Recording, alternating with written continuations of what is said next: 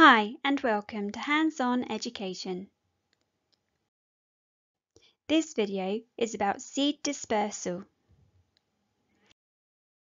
What is seed dispersal? Let's find out. Many plants produce seeds which grow into new plants. These can come in many different shapes and sizes.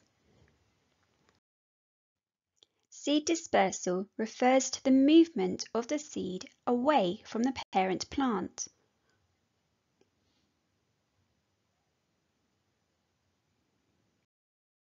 But why do seeds need to move away from the parent plant?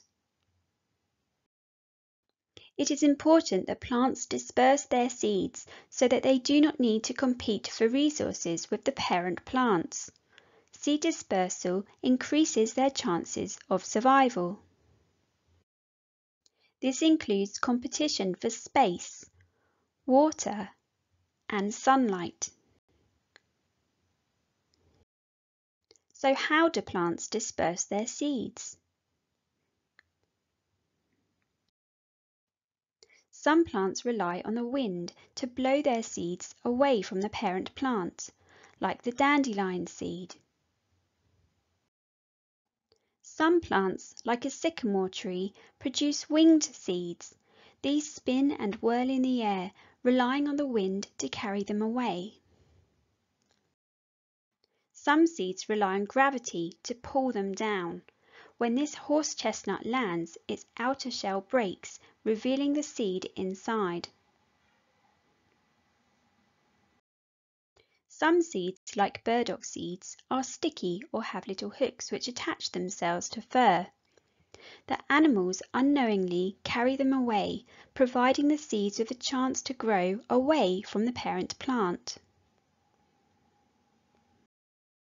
Some seeds are eaten by animals, like a bird eating a sunflower seed. Later, when the animal leaves are dropping, an undigested seed may fall into the perfect place for the seed to grow. Some seeds may fall into a river, pond or lake, relying on the water to carry them to another place far away from the parent plant. Some plants use force to push their seeds as far away as possible, like the jewelweed, at the smallest touch, the seed pod bursts open, pushing the seeds through the air. And now we know that plants can disperse their seeds in many different ways, some relying on the wind to carry their seed far away, some relying on gravity. Some seeds are designed to attach themselves to animal fur, and some are eaten by animals. Some seeds rely on the water, and some use force to push their seeds far away. For your hands-on activity, go on a nature walk and observe the seeds around you. Think about how different plants disperse their seeds. Look for clues like where you found the seed and how the seed is designed. Sort images of seeds into groups to show the different ways plants disperse their seeds.